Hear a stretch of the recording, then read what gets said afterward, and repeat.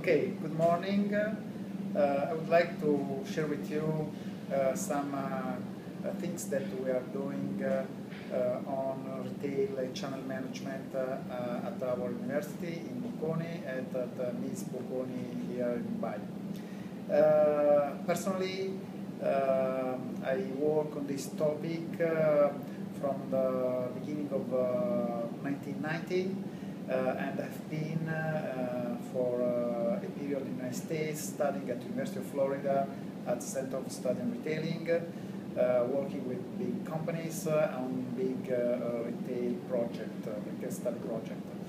Um, from that period, I have studied retailing and relationship between retailers and manufacturers for 23 years and uh, we have uh, published uh, many books, papers on this topic on many national international journals.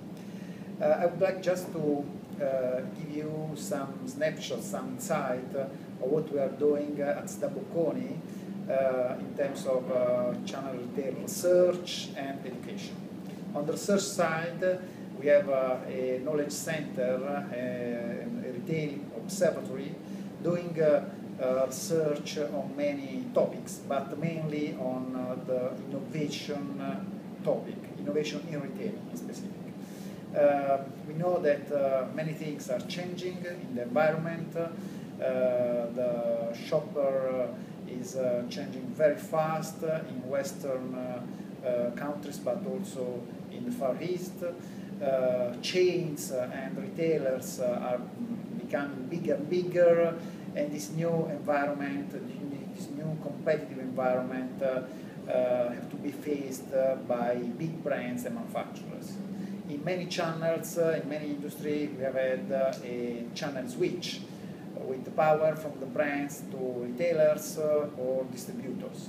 And for this reason, probably it's really important, uh, is a key issue to understand these trends and to find new way to manage channels and go-to-market strategies.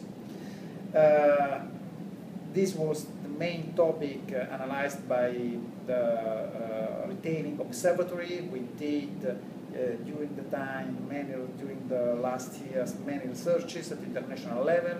The first uh, and the biggest was a research on innovation with uh, more than 200 cases uh, of innovation uh, for international retailer that we have analyzed in the last probably 11, 12 years.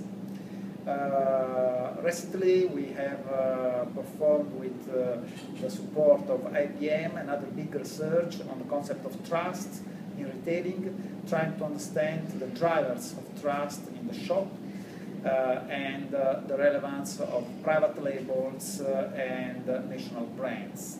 We did a big research in 15 countries, eight mature countries and seven developing countries with very interesting insight that we presented uh, at National Retail Federation uh, in New York in the United States at the beginning of this year.